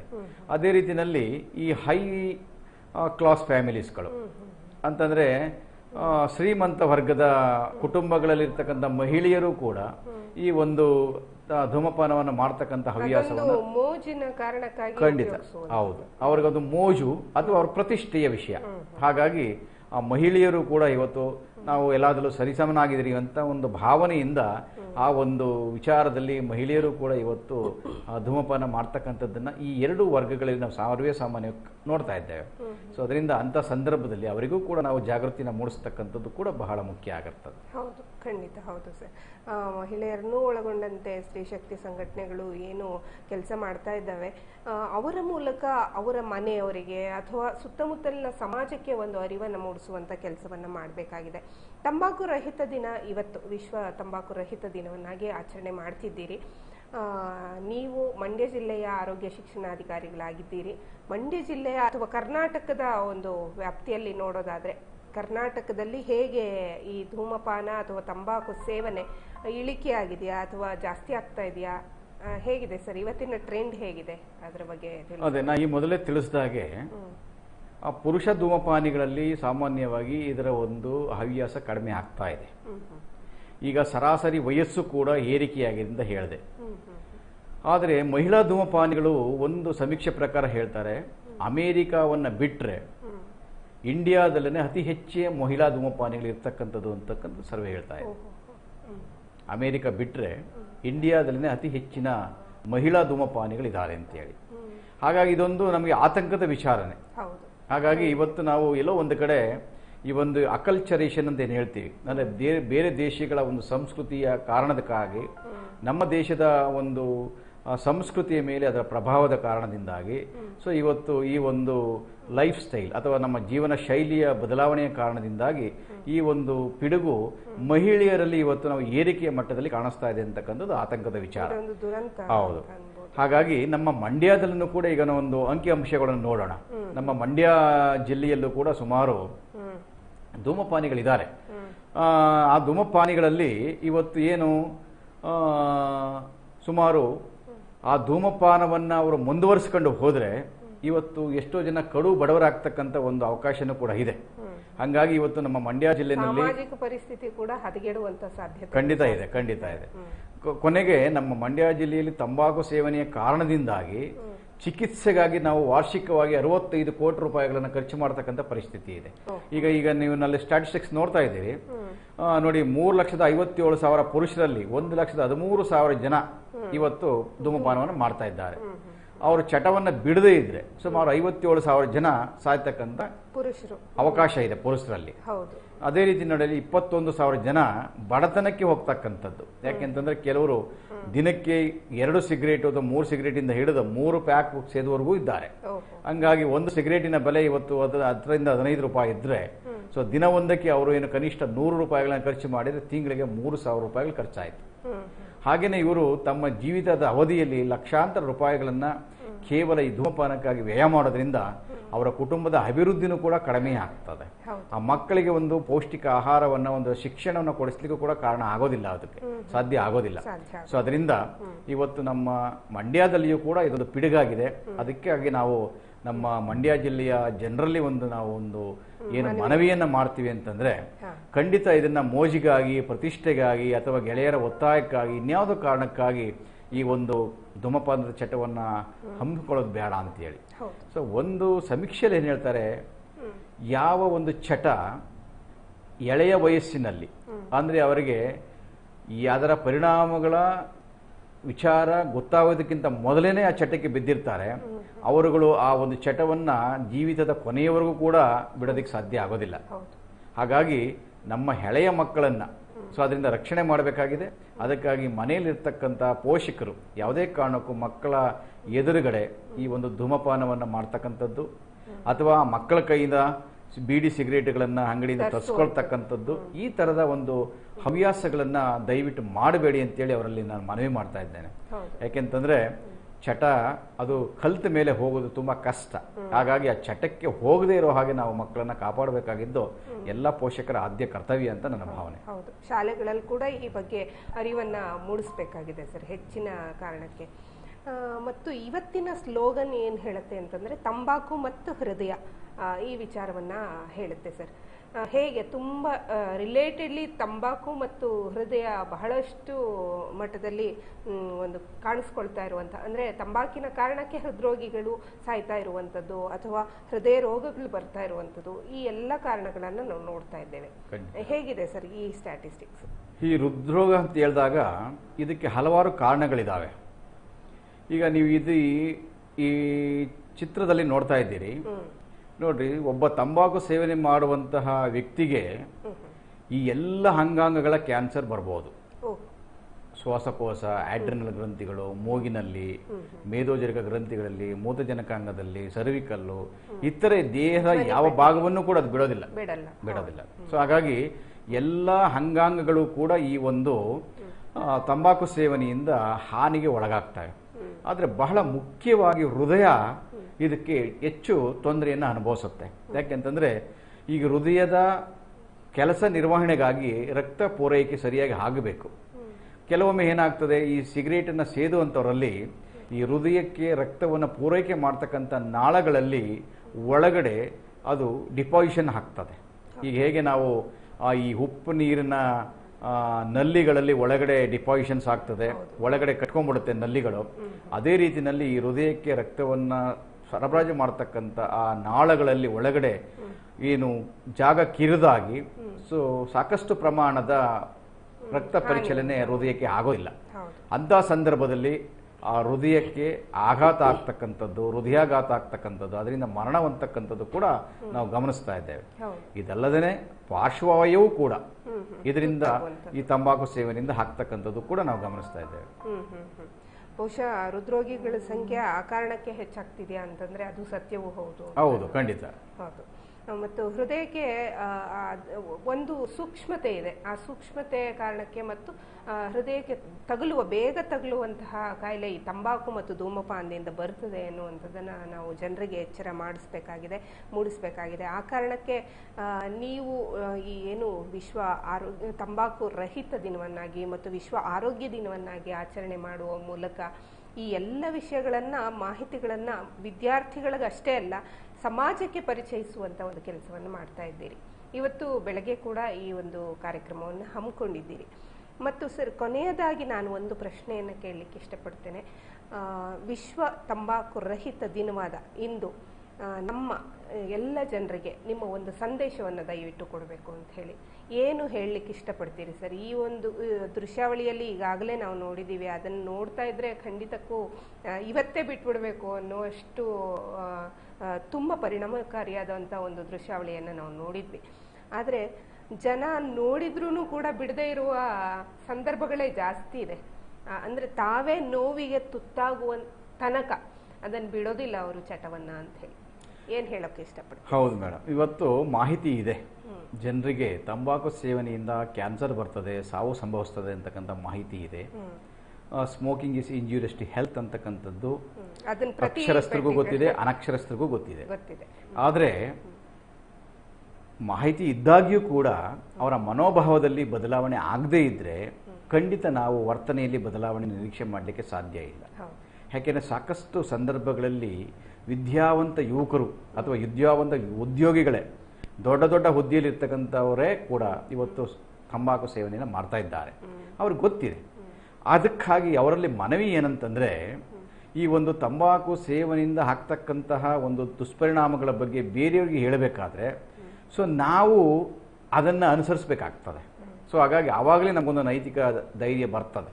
ಬೇರೆಯವರಿಗೆ ಆ ತಂಬಾಕಿನಿಂದ ಏನು ತೊಂದರೆ ಆಗ್ತದೆ ಬಿಟ್ಬಿಡಿ ಅಂತ ಹೇಳಲಿಕ್ಕೆ. ಸೊ ಅದರಿಂದ ಯಾರು ಸಮಾಜಮುಖಿ ಚಿಂತಕರಿದ್ದಾರೆ, ಸಮಾಜದಲ್ಲಿ ಏನಾದರೂ ಒಂದು ಬದಲಾವಣೆ ತರಬೇಕು ಅಂತಕ್ಕಂಥ ಯೋಚನೆ ಮಾಡೋರಿದ್ದಾರೆ ದಯವಿಟ್ಟು ನಿಮ್ಮಲ್ಲಿರ್ತಕ್ಕಂತಹ ಒಂದು ಕೆಲವು ಈ ತಂಬಾಕಿನ ಸೇವನೆಯನ್ನು ಬಿಟ್ಟುಬಿಡಿ ಜೊತೆಗೆ ಯಾವುದೇ ಸಂದರ್ಭವನ್ನು ಕೂಡ ತಂಬಾಕು ಸೇವನೆಯಿಂದ ಮಕ್ಕಳನ್ನು ಕಾಪಾಡೋದಕ್ಕೆ ಸಿಗುವಂಥ ಅವಕಾಶಗಳನ್ನು ಖಂಡಿತ ಮಿಸ್ ಮಾಡ್ಕೋಬೇಡಿ. ಯಾಕೆಂತಂದರೆ ಸಾಮಾನ್ಯವಾಗಿ ನಾವು ಗಮನಿಸ್ತೇವೆ ಬಸ್ ಬಸ್ ಸ್ಟ್ಯಾಂಡ್ಗಳಲ್ಲಿ ಅಥವಾ ಬೇರೆ ಬೇರೆ ಕಡೆಗಳಲ್ಲಿ ಮಕ್ಕಳುಗಳು ಗುಂಪು ಕೂಡಿಕೊಂಡು ಈ ಒಂದು ಅಭ್ಯಾಸವನ್ನು ಮಾಡೋದಿದೆ. ಸೊ ಹಾಗಾಗಿ ಒಳ್ಳೆಯ ಕಾರಣಕ್ಕೆ ಸೇರ್ತಕ್ಕಂಥದ್ದು ತುಂಬ ಕಡಿಮೆ. ಆದರೆ ಕೆಟ್ಟ ಕಾರಣಕ್ಕೆ ಗುಂಪು ಗುಂಪು ಸೇರ್ಕೊಳ್ಳೋದು ಮಕ್ಕಳಲ್ಲಿ ನಾವು ನೋಡ್ತಾ ಇರ್ತೇವೆ. ಬೇಗ ಅಡಿಕ್ಟ್ ಆಗುವಂತ ಸಾಧ್ಯತೆ ಖಂಡಿತ ಖಂಡಿತ. ಯಾಕೆಂದ್ರಲ್ಲಿ ನಾವು ಏನಂತಂದ್ರೆ ಆಪ್ತ ವಲಯ ಅಂತ ಹೇಳ್ತೀವಿ ಪಿ ಆರ್ ಗ್ರೂಪ್ಸ್ ಅಂತ ಹೇಳ್ತೀವಿ. ಸೊ ಯಾಕೆಂದ್ರೆ ಅವರ ಮೇಲೆ ಪ್ರಭಾವ ಬೀರ್ತಕ್ಕಂಥ ಇವರೇ. ಅವರುಗಳೇ ಈಗ ಯಾವುದೋ ಸಿನಿಮಾ ಶೈಲಿಯಲ್ಲಿ ಸಿಗರೇಟನ್ನ ಸೇದುವಂಥದ್ದಕ್ಕೆ ಹೊಗೆಯನ್ನು ಬಿಡುವಂಥ ಶೈಲಿಗೆ ಅಥವಾ ಅವರನ್ನೇ ರೋಲ್ ಮಾಡೆಲ್ ಆಗಿ ಇಟ್ಟುಕೊಂಡು ಮಾಡ್ತಕ್ಕಂಥದ್ದು. ಈ ರೀತಿಯ ಕೆಲವು ಪ್ರಚೋದನೆಗಳು ಈ ವಯಸ್ಸಿನಲ್ಲಿ ಅನುಸರಿಸುವುದು ಕೂಡ ಜಾಸ್ತಿ ಖಂಡಿತ. ಖಂಡಿತ. ಆ ಪ್ರಚೋದನೆ ಈ ವಯಸ್ಸಿನಲ್ಲಿ ಜಾಸ್ತಿ ಇರ್ತವೆ. ಅದಕ್ಕಾಗಿ ಮೊದಲು ನಮ್ಮ ಮಕ್ಕಳನ್ನ ಈ ಒಂದು ತಂಬಾಕಿನ ಸೇವನೆಯಿಂದ ದೂರ ಇಡಬೇಕಾದದ್ದು ಬಹಳ ಮುಖ್ಯ ಆಗ್ತದೆ. ಅಂದ್ರೆ ಗಮನಿಸ್ಕೊಳ್ತಾ ಇರಬೇಕು ಖಂಡಿತ. ಪೋಷಕರು ಕೂಡ ಅದರಲ್ಲೂ ಎಂಥದ್ದು ಅಂತಂದ್ರೆ ಪೋಷಕರ ನಿಗಾವಣೆಯಿಂದ ದೂರ ಇರತಕ್ಕಂಥ ಮಕ್ಕಳು. ವಿದ್ಯಾಭ್ಯಾಸದ ಕಾರಣಕ್ಕಾಗಿ ಉದ್ಯೋಗದ ಕಾರಣಕ್ಕಾಗಿ ಅಥವಾ ಇನ್ಯಾವುದೋ ಕಾರಣಕ್ಕಾಗಿ ಮನೆಯಿಂದ ಹೊರಗಡೆ ಇರ್ತಕ್ಕಂಥ ಮಕ್ಕಳುಗಳು. ಹಾಸ್ಟೆಲ್ಗಳಿರ್ಬೋದು ಹೌದು. ಹಾಸ್ಟೆಲ್ಗಳಿರ್ಬೋದು ಅಥವಾ ಉದ್ಯೋಗಕ್ಕೆ ಹೋಗಿ ಎಲ್ಲೋ ದೂರದಲ್ಲಿ ಮನೆ ಮಾಡ್ಕೊಂಡಿರ್ತಕ್ಕಂಥ ಇರೋ ಇರ್ಬೋದು. ಈ ಮಕ್ಕಳಿಗೆ ಏನಾಗ್ತದೆ ಅಂದರೆ ಪೋಷಕರ ಒಂದು ನಿಗಾವಣೆ ಇಲ್ಲದೆ ಇದ್ದಾಗ. ಸೊ ಅವರಿಗೆ ಎಲ್ಲ ಅವಕಾಶಗಳು ಸಿಗ್ತವೆ. ಯಾಕೆಂದರೆ ಕೈಯಲ್ಲಿ ಹಣ ಇರುತ್ತದೆ ಜೊತೆಗೆ ಅವಕಾಶಗಳು ಕೂಡಿ ಬರ್ತವೆ ಅವರಿಗೆ ಪ್ರಚೋದನೆ ಆಗ್ತದೆ. ಸೊ ಅದರಿಂದ ಅಂತ ಮಕ್ಕಳಿಗೆ ವಿಶೇಷವಾಗಿ ನಾವು ಕೇಂದ್ರೀಕರಿಸಿಕೊಂಡು ಅವರಿಗೆ ನಾವು ಒಂದು ಈ ತಂಬಾಕಿನ ಸೇವನೆಯ ಒಂದು ದುಷ್ಪರಿಣಾಮಗಳನ್ನು ತಿಳಿಸ್ಕೊಡ್ತಕ್ಕಂಥದ್ದು ಬಹಳ ಮುಖ್ಯ ಆಗಿರುತ್ತೆ. ಆ ಕಾರಣಕ್ಕೆ ನೀವು ಕೂಡ ಪ್ರಯತ್ನ ಮಾಡ್ತಿದ್ದೀರಿ. ಜೊತೆಗೆ ಪೋಷಕರು ಮತ್ತು ಶಿಕ್ಷಕರು ಈ ಒಂದು ತಂಬಾಕು ಮತ್ತು ಧೂಮಪಾನ ಏನೆಲ್ಲ ದುಷ್ಪರಿಣಾಮಗಳನ್ನು ಉಂಟು ಮಾಡುತ್ತೆ ಅನ್ನೋದ್ರ ಬಗ್ಗೆ ಅವರ ಅಡೊಲೆಸೆನ್ಸ್ ಪೀರಿಯಡಲ್ಲಿ ಮುಖ್ಯವಾಗಿ ಮಕ್ಕಳ ಒಂದು ವಯ ಹದಿಹರೆಯದ ವಯಸ್ಸಿನಲ್ಲಿ ಈ ಚಟಕ್ಕೆ ಬೀಳುವಂತಹ ಸಾಧ್ಯತೆಗಳು ಹೆಚ್ಚಾಗಿರೋ ಕಾರಣಕ್ಕೆ ಆ ವಯಸ್ಸಿನಲ್ಲಿ ಅತಿ ಜಾಗರೂಕತೆಯಿಂದ ನೋಡ್ಕೊಳ್ಬೇಕಾಗಿರುವಂಥದ್ದು ನಮ್ಮೆಲ್ಲರ ಆದ್ಯ ಕರ್ತವ್ಯ ಅಂತ ನಾವು ಭಾವಿಸ್ತೇವೆ ಸರ್. ಜೊತೆಗೆ ಇವತ್ತಿನ ಈ ಕಾರ್ಯಕ್ರಮದಲ್ಲಿ ಅತಿ ಹೆಚ್ಚಿನ ಮಾಹಿತಿಗಳನ್ನು ನಿಮ್ಮಿಂದ ಪಡ್ಕೊಂಡಂಗೆ ಆಯಿತು ಮತ್ತು ಸ್ಟ್ಯಾಟಿಸ್ಟಿಕ್ಸ್ ಕೂಡ ಸಿಕ್ತು. ಜೊತೆಗೆ ಸರ್, ವಿಶ್ವ ತಂಬಾಕು ರಹಿತ ದಿನವಾದ ಇಂದು ಎಲ್ಲ ನಮ್ಮ ವೀಕ್ಷಕರಿಗೆ ತಂಬಾಕಿನ ದುಷ್ಪರಿಣಾಮಗಳು ಮತ್ತು ಕ್ಯಾನ್ಸರ್ ಯಾವ ಎಲ್ಲ ಕಾರಣಕ್ಕೆ ಆಗ್ತದೆ ಮತ್ತು ಎಷ್ಟು ಜನ ವಿಶ್ವದಲ್ಲಿ ಸಾಯ್ತಾ ಇದ್ದಾರೆ, ಈ ಎಲ್ಲ ವಿಚಾರಗಳನ್ನು ತಿಳಿಸ್ಕೊಟ್ಟಿದ್ದೀರಿ. ಬಂದದ್ದಕ್ಕಾಗಿ ಮತ್ತು ಅನೇಕ ಮಾಹಿತಿಗಳನ್ನ ಹಂಚಿಕೊಂಡಿದ್ದಕ್ಕಾಗಿ ಮತ್ತೊಮ್ಮೆ ತಮಗೆ ಧನ್ಯವಾದಗಳನ್ನು ಅರ್ಪಣೆ ಮಾಡ್ತಾ ಇದ್ದೀನಿ sir. Thank you very much ವೀಕ್ಷಕರೇ ನಿಮಗೂ ಧನ್ಯವಾದಗಳು. ಈ ಒಂದು ಕಾರ್ಯಕ್ರಮದ ಮೂಲಕ ಅನೇಕ ಮಾಹಿತಿ ನಿಮಗೆ ದಿಕ್ ಸಿಕ್ಕಿದೆ ಅಂತ ಭಾವಿಸ್ತೇವೆ. ಆರೋಗ್ಯವೇ ಭಾಗ್ಯ ಕಾರ್ಯಕ್ರಮದಲ್ಲಿ ಕೊನೆಯನ್ನು ಹಾಡುವುದಕ್ಕೆ ಮೊದಲು ಏನಾದರೂ ಹೇಳಕ್ಕೆ ಇಷ್ಟಪಡ್ತೀರಾ? ಹೌದು ಖಂಡಿತ ಮೇಡಮ್ ಏನಂತಂದರೆ ಈಗ ಧೂಮಪಾನಿಗಳು ಈಗಲೇ ಯೋಚಿಸಿ ನಿರ್ಧಾರ ಮಾಡಿ ಅಂತೇಳಿ. ಈಗಲೇ ಯೋಚಿಸಿ ನಿರ್ಧಾರ ಮಾಡಿ. ಏನು ನಿರ್ಧಾರ ಮಾಡಬೇಕಂದ್ರೆ ತಂಬಾಕು ಸೇವನೆಯನ್ನು ಬಿಡುವಂಥ ನಿರ್ಧಾರವನ್ನು. ಈ ನಿರ್ಧಾರಕ್ಕೆ ನೀವು ಒಂದು ಗಡುವನ್ನು ವಿಧಿಸ್ಕೊಳ್ಳಿ. ಇಂಥ ದಿನ. ನಾವು ಈ ಒಂದು ತಂಬಾಕು ಸೇವನೆಯನ್ನು ತ್ಯಜಿಸ್ತೇನೆ. ಮತ್ತು ತ್ಯಜಿಸುವಂಥ ಸಂದರ್ಭದಲ್ಲಿ ನಿಮ್ಮ ಕುಟುಂಬದವರ ಜೊತೆಯಲ್ಲಿ ಅದನ್ನು ಹಂಚ್ಕೋಬೇಕು. ಇಂಥ ದಿವಸ ನಾನು ತಂಬಾಕನ್ನು ಬಿಡೋದಕ್ಕೆ ಪ್ರತಿಜ್ಞೆ ಮಾಡಿದ್ದೇನೆ. ಅಂತಕ್ಕಂಥ ವಿಚಾರವನ್ನು ಅವ್ರ ಜೊತೆ ಹೇಳ್ಕೊಂಡ್ರೆ ಅವ್ರ ಕುಟುಂಬದರ ಒತ್ತಾಸೆ ಮತ್ತು ಸಹಕಾರದ ಜೊತೆಯಲ್ಲಿ ಈ ಒಂದು ತಂಬಾಕನ್ನು ತ್ಯಜಿಸಲಿಕ್ಕೆ ಖಂಡಿತ ಅವಕಾಶ ಇದೆ. ಅಂದ್ರೆ ಒಂದು ಮಾನಸಿಕ ಸ್ಥೈರ್ಯವನ್ನು ಕೊಡ್ತಾರೆ ಖಂಡಿತ. ಖಂಡಿತ. ಯಾಕೆಂದ್ರೆ ಯಾವುದೇ ಚಟಮುಕ್ತರಾಗಬೇಕಾದ್ರೆ ಕುಟುಂಬದ ಸಹಕಾರ ಬೇಕೇ ಬೇಕು. ಅದ್ರ ಜೊತೆಗೆ ನಾವು ನಮ್ಮ ಆಸ್ಪತ್ರೆಯಲ್ಲೂ ಕೂಡ ವ್ಯಸನ ಮುಕ್ತ ಕೇಂದ್ರಗಳನ್ನು ಕೂಡ ತೆಗೆದಿದ್ದೇವೆ ಯಾರು ಇವತ್ತು ತಂಬಾಕನ್ನು ನಾವು ತ್ಯಜಿಸಬೇಕು ಅಂತೇಳಿ ಮನಸ್ಸು ಮಾಡ್ತಾರೆ ಅವರು ನಮ್ಮ ಜಿಲ್ಲಾ ಆಸ್ಪತ್ರೆಯಲ್ಲಿ ಇರ್ತಕ್ಕಂತಹ ವ್ಯಸನ ಮುಕ್ತ ಕೇಂದ್ರಕ್ಕೆ ಭೇಟಿ ಮಾಡಿದರೆ ಅಲ್ಲಿರ್ತಕ್ಕಂಥ ಮಾನಸಿಕ ತಜ್ಞರು ಅದರ ಬಗ್ಗೆ ಹೌದು ಆಪ್ತ ಸಮಾಲೋಚನೆಯನ್ನು ಮಾಡಿ ಅವ್ರಿಗೆ ಇನ್ನಷ್ಟು ಧೈರ್ಯವನ್ನು ತುಂಬಿ ಆ ಚಟದಿಂದ ಮುಕ್ತರಾಗೋದಕ್ಕೆ ಅವರು ಸಹಾಯ ಮಾಡ್ತಾರೆ. ಅದರಿಂದ ಈ ಒಂದು ಸದಾವಕಾಶವನ್ನು ಬಳಸ್ಕೊಳ್ಬೇಕು. ಮತ್ತೆ ತಂಬಾಕನ್ನು ಬಿಡೋದ್ರಿಂದ ನಮಗೆ ಇಪ್ಪತ್ನಾಲ್ಕು ಗಂಟೆಗಳಲ್ಲೇ ಅದರ ಒಂದು ಪರಿಣಾಮ ಗೊತ್ತಾಗ್ತದೆ. ಅಂತಂದ್ರೆ ಏನಂದ್ರೆ ಈಗ ಎಷ್ಟೋ ಸಂದರ್ಭಗಳಲ್ಲಿ ನಮ್ಮ ಟೇಸ್ಟ್ ಬರ್ಡ್ಸ್ಗಳು ಹಾಳಾಗಿರ್ತವೆ ನಮ್ಮ ನಾಲಿಗೆಯಲ್ಲಿ ರುಚಿಯೇ ಇರೋದಿಲ್ಲ. ನಾವು ತಿನ್ನುವಂಥ ಆಹಾರಕ್ಕೆ ಸಿಗರೇಟಿನ ಸೇದುವಂಥವರಲ್ಲಿ ಆ ಒಂದು ಸಿಗರೇಟನ್ನ ಬಿಟ್ಟಂತಹ ನಲವತ್ನಾಲ್ಕು ಗಂಟೆಗಳಲ್ಲೇ ನಿಮಗೆ ಆಹಾರದ ರುಚಿ ಕಾಣಿಸ್ಕೊಳ್ಳಿಕ್ಕೆ ಶುರುವಾಗ್ತದೆ. ಮತ್ತೆ ಅದೇ ರೀತಿಯಲ್ಲಿ ಕೇವಲ ಒಂದು ವಾರದಲ್ಲಿ ನಿಮ್ಮ ರಕ್ತದಲ್ಲಿರ್ತಕ್ಕಂಥ ಕಾರ್ಬನ್ ಮೊನಾಕ್ಸೈಡಿನ ಪ್ರಮಾಣ ಕಡಿಮೆ ಆಗ್ತದೆ. ನಿಮ್ಮ ಶ್ವಾಸಕೋಶದ ಕೆಲಸ ಇಂಪ್ರೂವ್ ಆಗ್ತದೆ. ಜೊತೆಗೆ ನಿಮ್ಮ ಹೃದಯದ ಕೆಲಸವೂ ಕೂಡ ಉತ್ತಮ ಆಗ್ತದೆ. ಈಗ ಪ್ರತಿ ಅಂಗಾಂಗಗಳೂ ಕೂಡ ಅದರಿಂದ ಪ್ರಯೋಜನವನ್ನು ಪಡ್ಕೊಂಡು ಸೊ ಅದಕ್ಕೆ ಸರಿಯಾಗಿ ಕೆಲಸವನ್ನು ನಿರ್ವಹಿಸುವಂಥ ಒಂದು ಸ್ಥಿತಿಗೆ ಮರಳುತ್ತಾರೆ. ಹಾಗಾಗಿ ಯಾವುದೇ ಸಂದರ್ಭದಲ್ಲಿ ಯೋಚನೆ ಮಾಡಬೇಡಿ. ಇಷ್ಟು ದಿವಸ ಸೇದ್ಬಿಟ್ಟಿದ್ದೀನಿ ಈಗ ಬಿಟ್ಟರೆ ಏನು ಪ್ರಯೋಜನ ಅಂತೇಳಿ. ಖಂಡಿತ ಉಪಯೋಗ ಇದೆ. ಇದುವರೆಗೂ ಕೂಡ ಸೇದಿರ್ತಕ್ಕಂಥದ್ರಲ್ಲಿ ನಿಮಗೆ ಏನು ಆರೋಗ್ಯ ಹಾಳಾಗಿದೆಯೋ ಅದನ್ನು ಹತ್ತು ವರ್ಷಗಳ ಕಾಲ ತಂಬಾಕನ್ನು ಸೇದದೆ ಹೋದರೆ ಈ ತಂಬಾಕನ್ನು ಸೇದದೇ ಇರ್ತಕ್ಕಂಥ ವ್ಯಕ್ತಿಗೆ ಯಾವ ರೀತಿ ಅಪಾಯಗಳು ಕಡಿಮೆ ಇರ್ತವೆ ಅಷ್ಟೇ ಅಪಾಯ ನಿಮಗೂ ಕೂಡ ಕಡಿಮೆ ಆಗ್ತದೆ. ಕೇವಲ ಹತ್ತು ವರ್ಷಗಳಲ್ಲಿ ಸೊ ನೀವು ನಾರ್ಮಲ್ ಆಗಿ ಹೋಗ್ಬೋದು. ಅದರಿಂದ ಯಾವುದೇ ಕಾರಣಕ್ಕೂ ಅಧೀರರಾಗೋದು ಬೇಡ. ಅಥವಾ ನಿಮ್ಮನ್ನೇ ನೀವು ಅವಹೇಳನಕ್ಕೆ ಅಥವಾ ಕೀಳರಿಮೆಗೆ ದೂಡ್ಕೊಳ್ಳೋದು ಬೇಡ. ಸೊ ಅದರಾಗಿ ನೀವು ಬೇರೆಯವರ ಸಹಾಯವನ್ನು ಸಹಕಾರವನ್ನು ಪಡ್ಕೊಂಡು ನಮ್ಮ ಇಲಾಖೆಯ ಸಹಕಾರವನ್ನು ಪಡ್ಕೊಂಡು ಕುಟುಂಬದ ಸಹಕಾರವನ್ನು ಪಡ್ಕೊಂಡು ಸೊ ಮಾರ್ಗದರ್ಶನವನ್ನು ಪಡ್ಕೊಂಡು ನೀವು ಈ ಒಂದು ಚಟದಿಂದ ಮುಕ್ತರಾಗೋದಕ್ಕೆ ಪ್ರಯತ್ನ ಮಾಡಿ ಈ ಸಂದರ್ಭದಲ್ಲಿ. ಇದೊಂದು ಕೇವಲ ಏನು ಮೇ ಮೂವತ್ತೊಂದು ಸಾಂಕೇತಿಕ ಅಷ್ಟೇ ಇದು. ಈ ಒಂದು ತಂಬಾಕು ರಹಿತ ದಿನ ಅಂತ ಹೇಳಿದ್ರೆ ಇದನ್ನು ಸಾಂಕೇತಿಕವಾಗಿ ನಾವು ಆಚರಣೆ ಮಾಡ್ತಾ ಇದ್ದೇವೆ. ಆದರೆ ಇದು ವರ್ಷ ಪೂರ್ತಿ ಇರಬೇಕಂತಕ್ಕಂಥದ್ದು ನಮ್ಮ ಬಯಕೆ. ಆ ನಿಟ್ಟಿನಲ್ಲಿ ತಾವುಗಳು ಪ್ರಯತ್ನ ಮಾಡ್ತೀರಿ ಅಂತೇಳಿ ನಮ್ಮ ಈ ಒಂದು ಕಾರ್ಯಕ್ರಮವನ್ನು ನಾವು ಇಲ್ಲಿ ಮುಗಿಸ್ತಾ ಇದ್ದೀವಿ. ಧನ್ಯವಾದಗಳು. Thank you very much sir ವೀಕ್ಷಕರೇ, ಇವತ್ತಿನ ಈ ಕಾರ್ಯಕ್ರಮ ಬಹಳಷ್ಟು ಉಪಯುಕ್ತವಾಗಿತ್ತು ನಿಮಗೆ ಅಂತ ಭಾವಿಸ್ತೇವೆ. ಮತ್ತೆ ಮತ್ತೆ ಆರೋಗ್ಯವೇ ಭಾಗ್ಯ ಕಾರ್ಯಕ್ರಮದಲ್ಲಿ ಇಂಥ ಅನೇಕ ತಜ್ಞರು ನಮ್ಮ ಜೊತೆಗೆ ಇರ್ತಾರೆ, ಮಾತಾಡ್ತಾರೆ, ಮಾಹಿತಿಯನ್ನು ಹಂಚಿಕೊಳ್ತಾರೆ. ನಿಮ್ಮ ಜೊತೆಗೆ ನೇರ ಫೋನ್ ಇನ್ ಕಾರ್ಯಕ್ರಮದಲ್ಲಿ ಕೂಡ ಭಾಗವಹಿಸ್ತಾರೆ. ಆರೋಗ್ಯವೇ ಭಾಗ್ಯ ಕಾರ್ಯಕ್ರಮವನ್ನು ನಿರಂತರವಾಗಿ ನೋಡ್ತಾ ಇರಿ ಅಂತ ಕೇಳ್ಕೊಳ್ತಾ ಇವತ್ತಿಗೆ ಈ ಕಾರ್ಯಕ್ರಮವನ್ನು ಮುಕ್ತಾಯ ಮಾಡ್ತಾ ಇದ್ದೇವೆ. ನಮಸ್ಕಾರ. ಟೆನ್ ಟಿವಿ ಬದಲಾವಣೆಯ